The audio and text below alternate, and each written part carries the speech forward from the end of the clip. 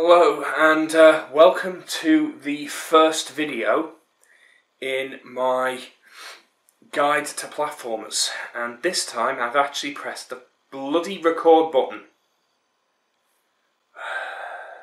I did record this video and I got about 20 minutes in then my video camera went on standby and I went what the hell is going on?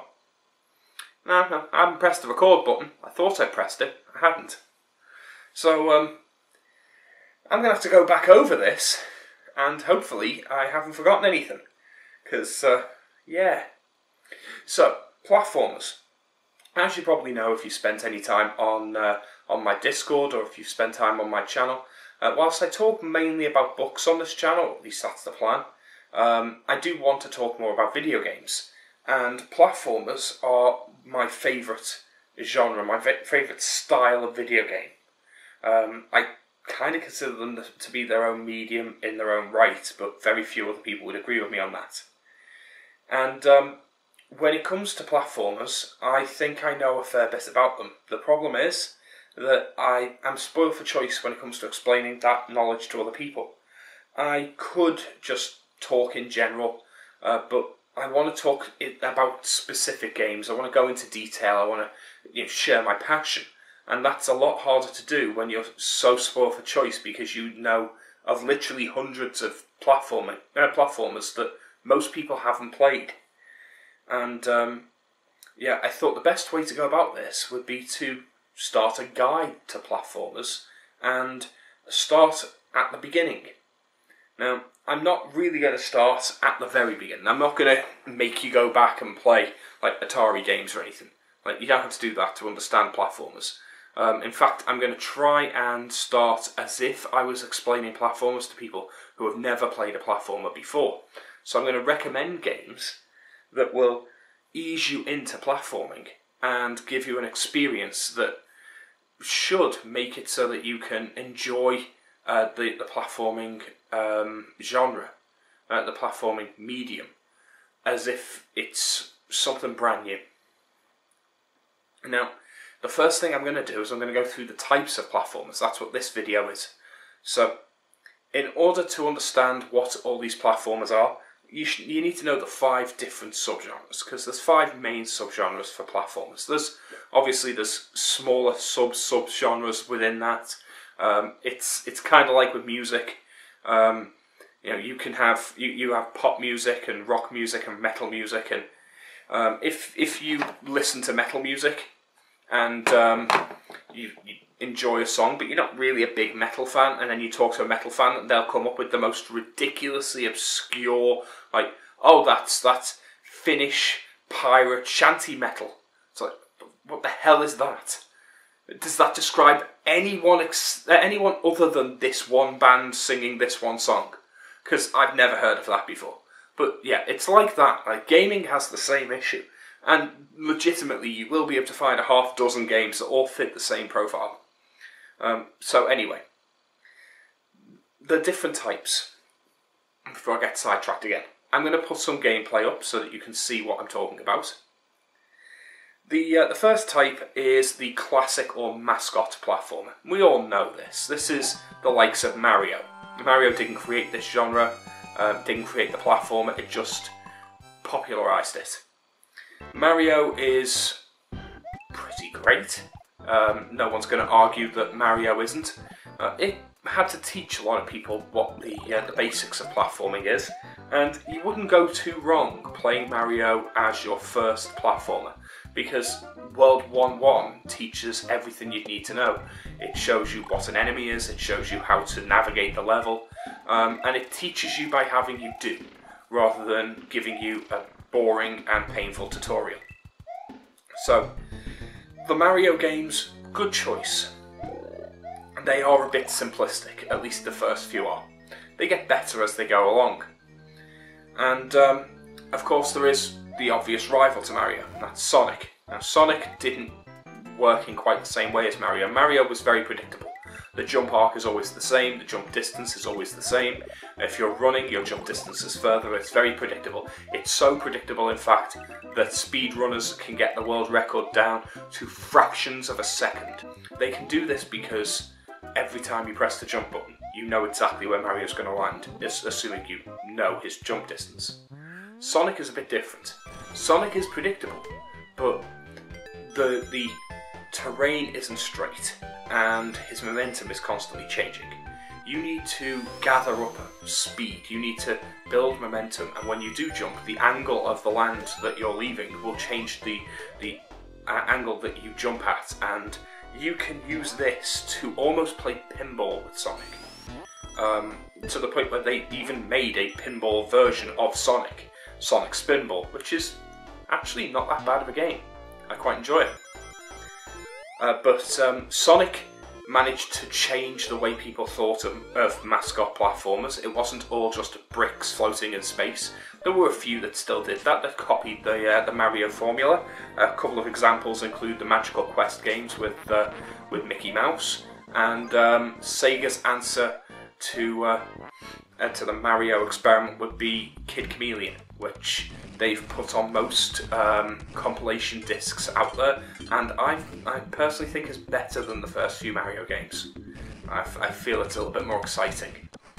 There's there's more variety and um, the levels are less predictable.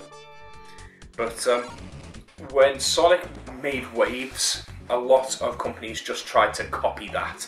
So you ended up with a lot of mascots, uh, a lot of attitude-filled uh, kind of woodland creatures just trying to look cool, like 90s cool, which has not worked because that just looks cringe now by today's standards. You've got a few, like you had Zero, the kamikaze squirrel, which is about as bad as it sounds.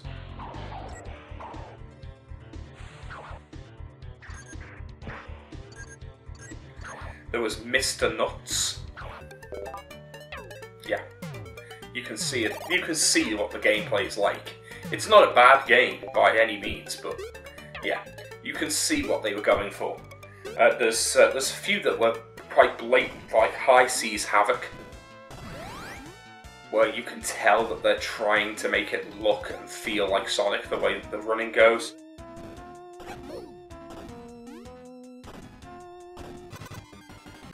Uh, there's Socket, which didn't even try to hide its influence. Um, Socket didn't even try to hide the name. They've tried to make the name as close to Sonic as they can. And then there's the most obvious um, attempt to clone the Sonic gameplay, which is Bubsy, which is about as bad as you've heard. Assuming you've heard anything about it at all. Now, Mascot platformers continued. There was more. Uh, the Donkey Kong Country series is um, is probably one of the more famous uh, series, and that redefined what we expected from platforms. It put a lot of uh, a lot of emphasis on the graphics, and it was fantastic for its time. It was also crucially really, really smooth and fun to play. If it was just great graphics, it would not have succeeded. But the Donkey Kong Country games not only managed to take 16 bit graphics way beyond what people thought were possible, but it also managed to take the gameplay to a new area. It felt smooth and it felt predictable, kind of like Mario, but it also felt heavier and more deliberate, but with a, a, greater sense of momentum, which reminded people of Sonic. It was a nice middle ground between the two, actually, but it felt heavier than both of them. Donkey Kong had weight to it. This style of platforming would carry on further in, and more people would copy that as well. Uh, there are other styles as well, but um, Donkey Kong has been copied more recently with some uh, some releases such as Yooka-Laylee and the Impossible Lair, which is far better than the Collectathon uh, crap they made for the first game, which was bad for a Collectathon. Um, Impossible Lair, however, is a fantastic game and well worth your time. And then there's Kaze and the Wild Masks, which is a personal favourite of mine and one I highly recommend.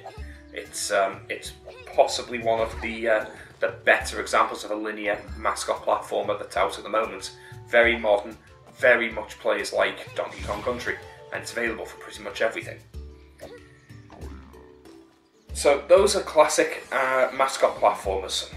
Mario and Sonic are still being made to this day, and there's loads that are trying to copy what they do, um, right down to the point where they're almost exact clones. Um, some of them even start as fan games. A good example being Freedom Planet, which was literally a Sonic fan game that got so much attention that they decided if we just remove Sonic, then there's no copyrighted material in it.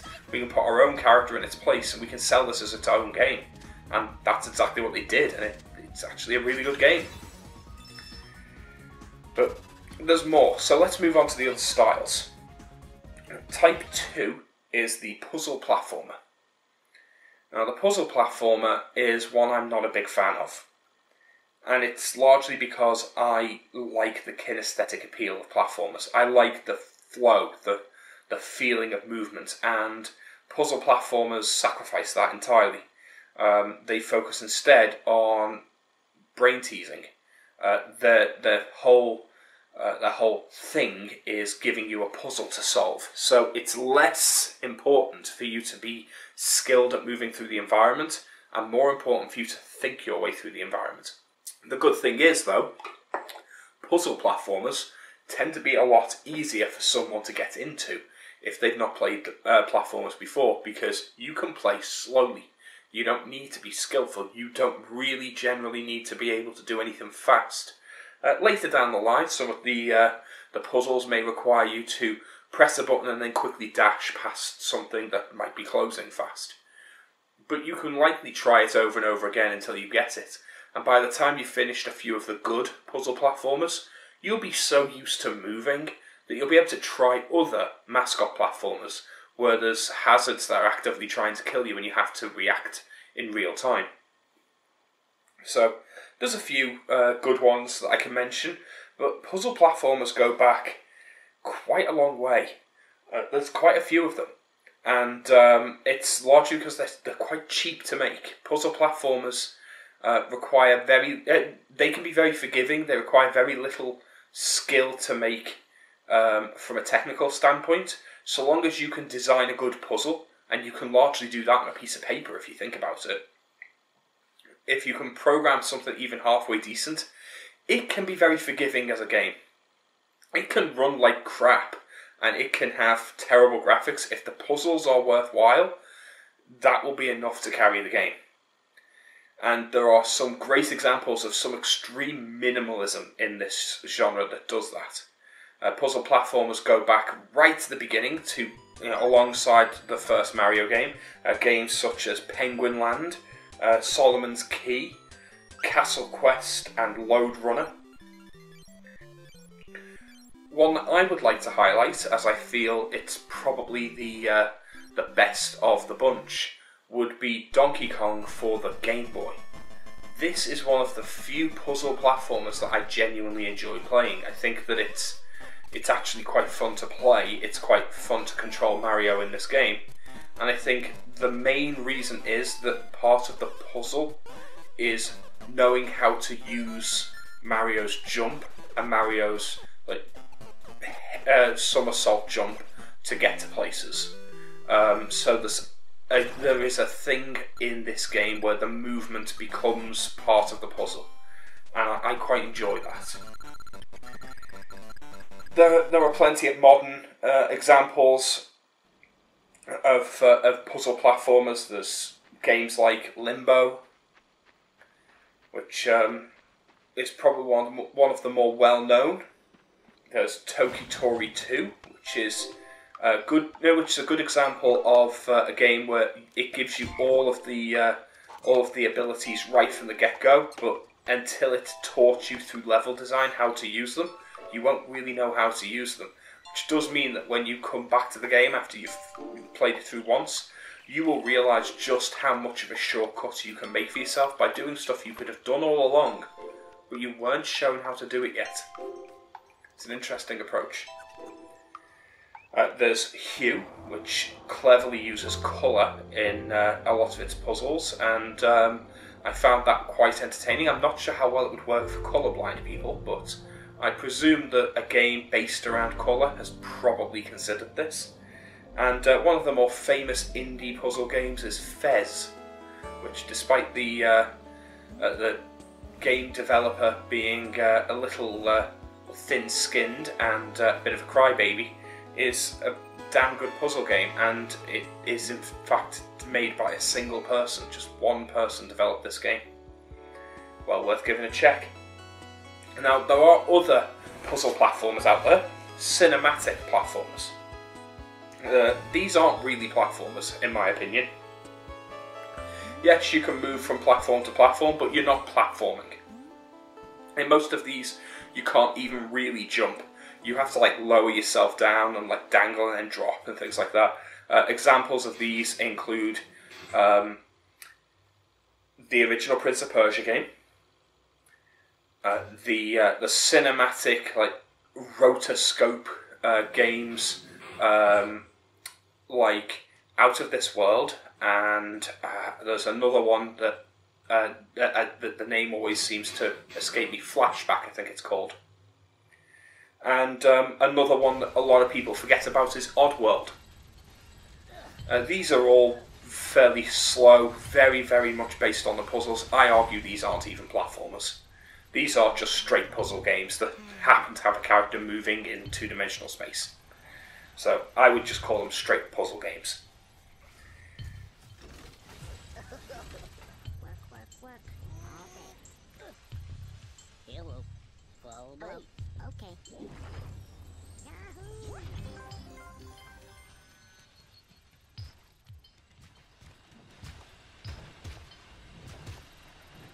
Now, puzzle games is going one direction, but platformers are really more about the action, and every other type takes uh, the platform where puzzle games go in one direction and reduce the action. Every other one goes the other way and in- increases the action, at least in some way. So we'll start with run and gun. Run and gun games are pretty much exactly as it sounds. You have a character who can fire projectiles, and you just run down the, the level, jumping from platform to platform, firing your gun. Um, the obvious examples of this include games like Contra, which is probably one of the uh, one of the earliest of this style. Uh, it was called Probotector, I believe, in uh, in most of Europe. Um, I know it was called that when I was a kid, and yet I remember it as Contra. I'm not sure how that worked. Maybe Britain didn't get the um, the censored version because Probotector was Contra. Only all the characters were replaced with robots because for some reason the Germans have this obsessive thing where shooting people was banned in video games. You could only shoot like aliens or robots. So a lot of games got censored in the uh, the late 80s and early 90s to remove any people being shot or stabbed and replacing them with robots. Uh, and that's what happened in Contra. They just called it Probotector and replaced all the people with robots, including the main character. Um, but yeah, no one cares. Contra is now sold openly in every country, and um, the, the censorship happy uh, morons need to get over it. Um, other examples uh, Metal Slug, which was uh, famous on the Neo Geo systems. Uh, not one that was easily found. It did have an arcade machine, uh, but a lot of people won't have played them uh, because, again, they weren't uh, weren't easy to get to. And I don't believe it had home ports on any of the major systems until PlayStation 2. Um, the big name in this would probably be Gunstar Heroes. That's the one everyone's going to know. The the fuck.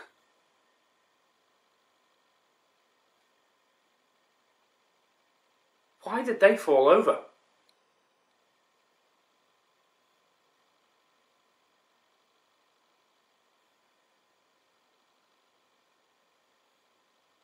Okay.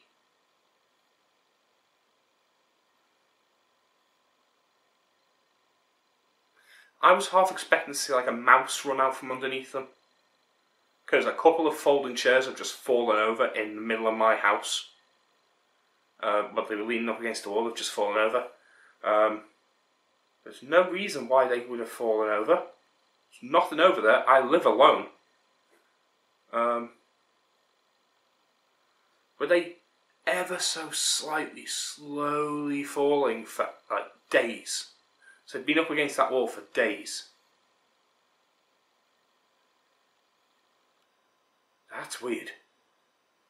The worst part, of course, is that uh, I can't go and pick them up because that would involve me bending down and attempting to lift something, which is a very, very bad idea given the uh, the issues that I've got at the moment. Which again, see my previous videos on my uh, my recent trip to hospital and uh, my problems there.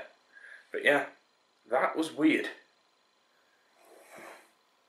Anyway, I was talking about um, I was talking about games and uh, Gunstar Heroes. Yeah, um, it is famous on Mega Drive Gunstar Heroes for uh, for being uh, the the uh, the game that the, the developer Treasure made that everyone wants. It's this fast, frenetic action game. I'm not a big fan, if I'm honest. I don't particularly like the uh, the over the top reliance on shooting in this game. Um, Run and gun is not my favourite. Uh, I prefer to have more pure platforming, but um, I don't dislike it. Uh, the um, the modern uh, equivalent of this genre, I suppose, excuse me, would be Cuphead. Cuphead is um, probably the most rec- recognisable modern run and gun, and it is hard. Run and gun games were well known for being very, very hard. Now, there is a line with run and gun games where they stop being platformers altogether. And I think um, a good example of this is Ranger X uh, for the Mega Drive. Ranger X is um, a game where you don't really do much in the way of platforming. You you're controlling a mech with a jetpack, and you you shoot as you move uh, through the levels. But um, you're not really jumping between anything, and you can kind of just fly through the entire level. It's not a shoot 'em up traditionally, but it's as close to getting there as it can be. And I would say it's a comfortable middle ground between a shoot 'em up and a platformer. Um, examples of shoot 'em ups, of course, being the likes of uh. Um, shoot 'em ups have pretty daft names, by the way. Yeah, Gleylancer is not the strangest one. Um, and Thunder Force 4 is probably the most famous uh, shoot 'em up on the Mega Drive, or shmup as they've been shortened to in the community. There is a midpoint here, though. There is a point where you're you're not really a run and gun, but you're not quite a uh, you're not quite a traditional mascot platformer either. And that's the point where you've got a gun and you're firing projectiles, but you're still a mainstay platformer. And the biggest example of that, of course, is Mega Man.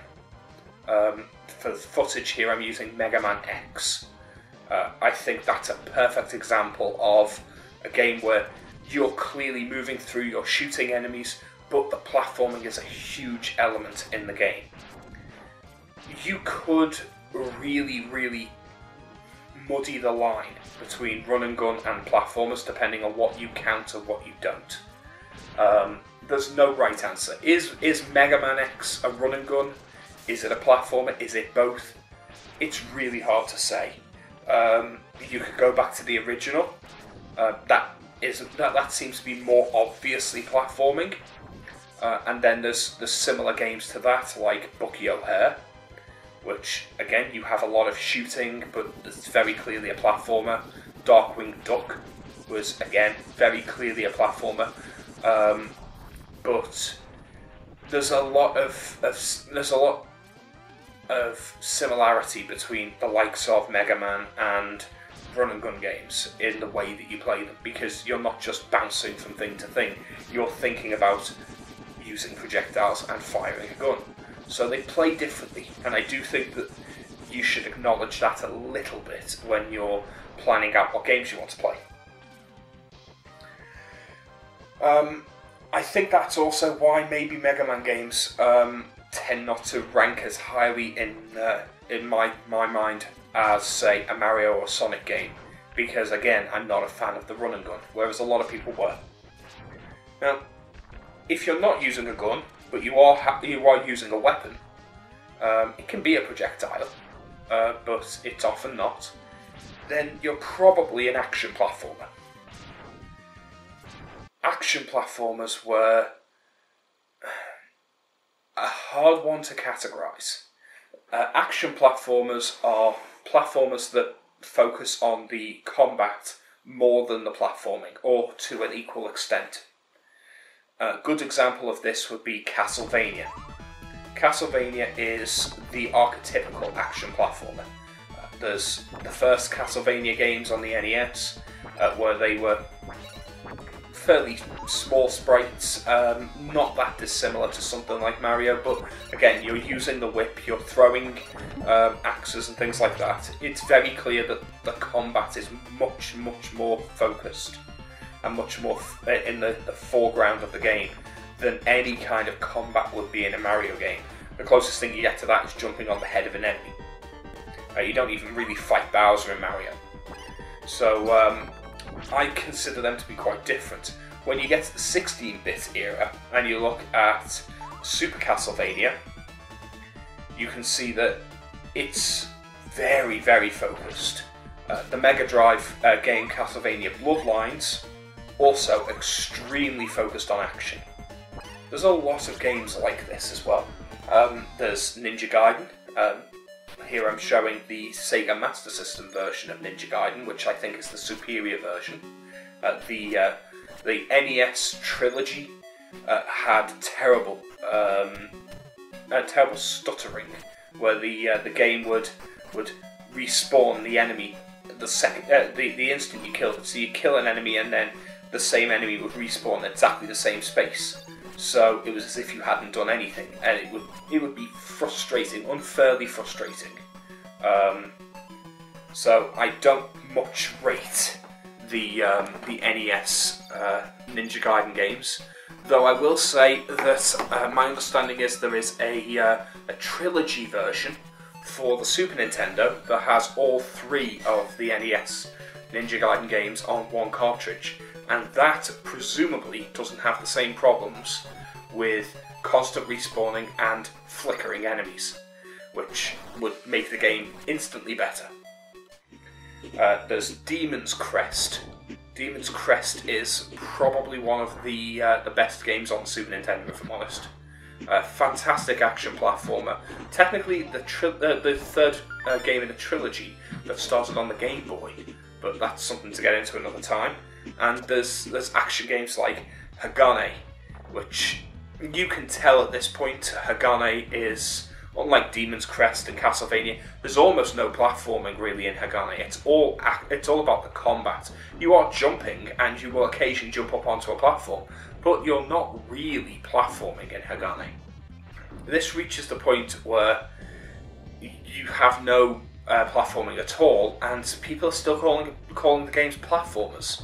Um, games like Shinobi, um, the Shinobi games on the Mega Drive, um, have almost no platforming at all. There's there's you're, you're a huge sprite. You're throwing shurikens, and um, very very rarely do you ever jump, or you tend to duck more and dodge. And the jumping is not a skill-based maneuvering between platforming between platforms. It's just repositioning. Um, and then there's games like Altered Beast, where there is no platforming at all. There are no platforms in Altered Beast. You're just moving from one side of the screen to the other and killing everything that you see. It's actually a bit of a button masher, Altered Beast. It's kind of a crap game, if I'm honest, but it was a very, very early Mega Drive game. Um, I would say that when you get to the point where we're at Altered Beast, we're no longer a platformer territory, we're edging into beat 'em ups. And beat 'em ups, honestly, is uh, one of the best genres that you can play on the 16 bit hardware. 8 bit beat 'em ups are a waste of your time, don't bother with them. 8 bit beat 'em ups are practically unplayable. Uh, the amount of sprite flicker makes them headache inducing. Uh, they are difficult to follow. All the sprites are tiny little chibi icons that just look awful. Uh, but as you can see, Mega Drive is the home of the beat 'em up. This is Streets of Rage 2, and it is fantastic. It is one of the best beat 'em ups, possibly the best beat 'em up that's ever been made. uh, simply because beat 'em ups aren't generally made now. An argument could be made that perhaps Streets of, uh, Streets of Rage 4, uh, which recently came out on the uh, the PlayStation 4 and other systems, I have it on the PlayStation 4, is a better game simply because it's more complex and it's more refined. Um, I wouldn't necessarily disagree. Uh, there are a few that have come out very recently, but the beat 'em up has only recently seen a new revival in about the last two years. So if this is something you're, you're interested in, the Mega Drive has a lot of really good beat 'em ups, and it will give you a good grounding. That was the system to play beat 'em ups on. But yes, um, that is the action platformer, and um, it is it is getting a lot of attention at the moment. There are plenty of games that are recreating the style of the action platformer. Uh, they tended to be more mature in their tone, uh, more adult in their art style. Uh, it was less cartoon characters. It was less colourful. It was more um, sci-fi or horror in theme. Uh, they would often be uh, more serious in tone. They would occasionally have a, a more direct and more adult leaning storyline. And uh, good good examples of games that have been released, modern retro games uh, that have been released in this style would be Curse of the Moon, which is a direct attempt to make a Castlevania style game. Uh, and a really good attempt at it, honestly. It's a fantastic game, well worth your time. And Cyber Shadow, which is an extremely fast paced, extremely high skill action platformer that tries to take elements from the likes of Ninja Gaiden and really turn them up to 11. Uh, possibly one of the best skill based uh, platformers that there is.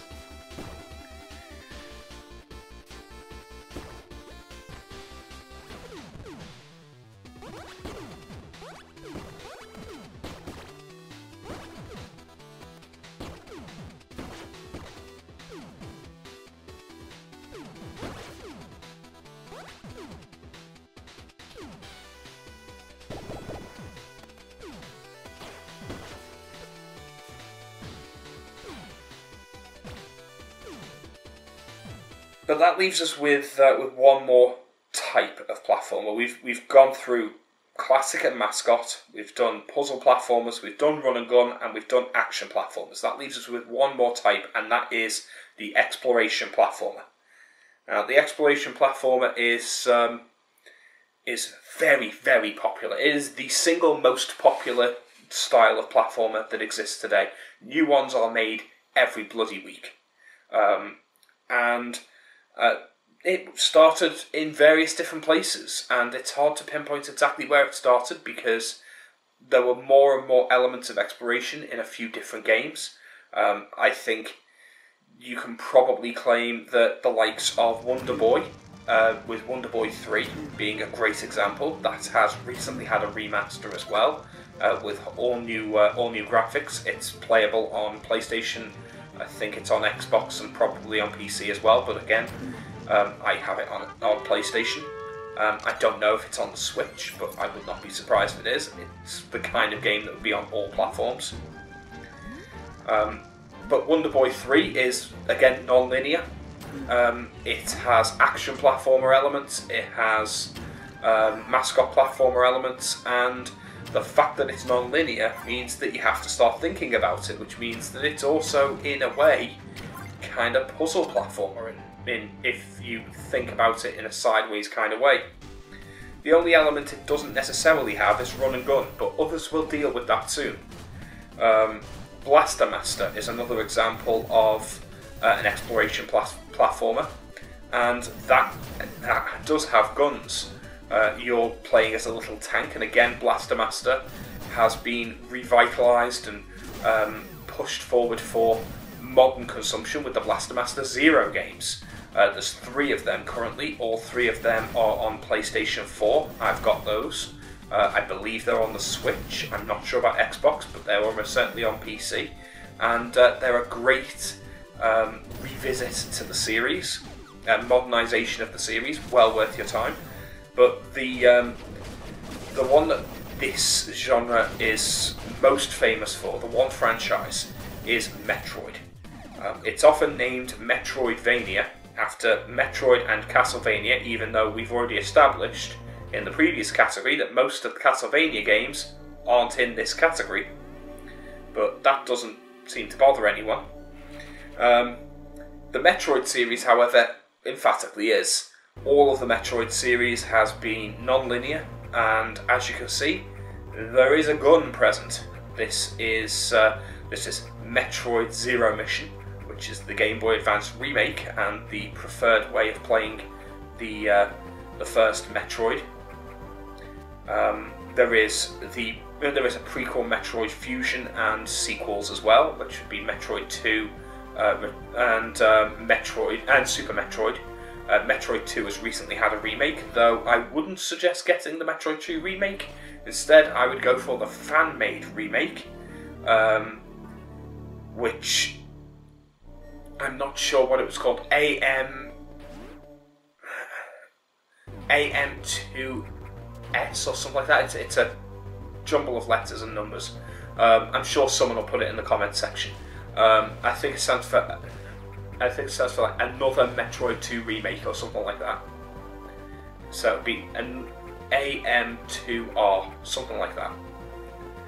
Um, it is well worth uh, well worth playing, and uh, the Metroid series has been the one that's kind of molded this this subgenre.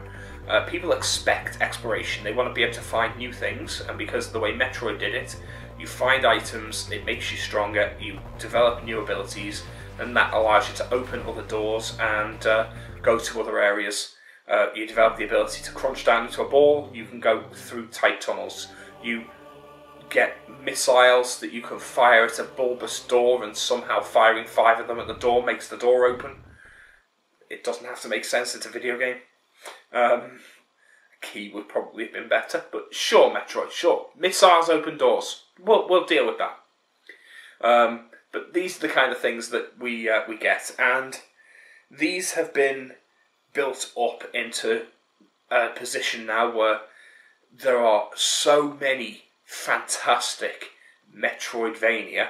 I, I don't like the term, but still, uh, games that take the style of Metroid and just run with it. A great example, of course, is one I've already mentioned, Axiom Verge. I, I firmly believe that Axiom Verge takes the styling of Metroid and does it better in every way, and it's made by a single person. Just one. Amazing, amazing game, and one you should definitely seek out. Axiom Verge is bigger than any Metroid game, more complex than any Metroid game, harder than any Metroid game, and has uh, more depth in both its story and its gameplay. Um, it is a, a straight improvement. That's not to say the Metroid games are not worth your time, they almost certainly are. But uh, a lot of the uh, the classics, when it comes to platformers, um, they don't hold up as well as the moderns, uh, modern games that are following in their footsteps. Uh, modern platformers are actively improving uh, in almost every area. So you don't necessarily need to go back into the past and play these old games. Some of them are well worth playing, and if you want to get that history, uh, then it's well worth doing, especially if you want to be able to go into these modern games with the experience of having played the old ones, so that you know what to expect and you understand the references. You also develop the skill, because one of the things that uh, that modern platformers do do is they are significantly harder. It is very very well understood in the uh, the modern uh, indie scene and um, the smaller development scene that when you're making a platformer, it's going to be people like me who have been playing video games for 30 plus years who are going to be playing your game. And uh, you need to make it hard, you need to make it actually challenge us. Uh, there's no point in making a game that is as hard as, say, the Kirby games on, uh, on Super Nintendo. We will devour them in half an hour and we will be bored in the process.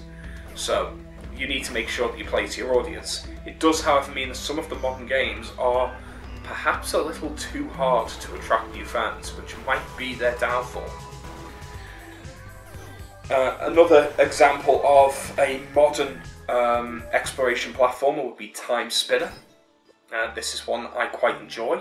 Uh, there is uh, there's a few. There's uh, Ori and the Blind Forest, which uh, is one of the few um, games that I've mentioned that is not available on PlayStation, to my annoyance. So that's my preferred place to play. But still, the uh, the one that almost everyone is going to be aware of, though, and possibly the most famous in this subgenre, is Hollow Knight. Hollow Knight is probably one of the most popular, the most beloved, and the most critically acclaimed platformers ever made.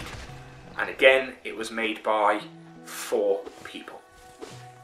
So, this just goes to show that platformers are a medium that um, that defies big business. It doesn't matter if you have a big development company, if you have millions and millions in the bank. You don't need all of that. All you need is some talent and some know-how, and you can make these games. If Axiom Verge can be made by one person and Hollow Knight can be made by four people, uh, you don't need to be a huge company to make it you can just be a few friends that gather together with a good idea and a little bit of uh, a bit of umph behind you, a little motivation. Uh, at least one of you knows how to uh, to code, and you can make a game. It won't take much. You just need some talent and, uh, and and some perseverance. So long as one person is a decent designer who knows how to design levels that flow well and feel good to play, one person is decent enough at drawing or at least can produce some good pixel art and you've got one person who knows how to program and can write a physics engine, you can make a platformer. And if you do a decent enough job, give yourself a couple of years to work on it, you can make a platformer that will genuinely sell.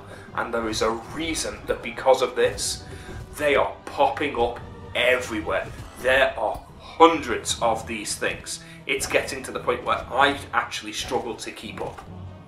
So yeah, these games are fantastic, and um, they have they have pushed the medium forwards. But enough of that. I think those are the uh, the main types of platformers. Uh, we have uh, we have five types. Like I say, we have uh, classic mascot, we have puzzle, we have run and gun, we have action, and we have exploration. And exploration is possibly, if we think of it um, in some ways, an amalgamation of the previous ones that come before. It's often got action, like with Hollow Knight, uh, cutting and slashing at, uh, at bosses with the nail. Um, some of the the action in Hollow Knight is some of the biggest draw.